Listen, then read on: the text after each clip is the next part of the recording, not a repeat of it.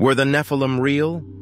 It is a debated topic among scholars and historians whether or not the Nephilim, a race of giants mentioned in the Bible, were real.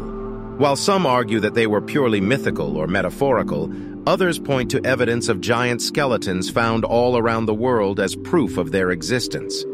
Additionally, ancient texts from cultures such as the Greeks, the Sumerians, and the Native Americans also contain references to giant beings.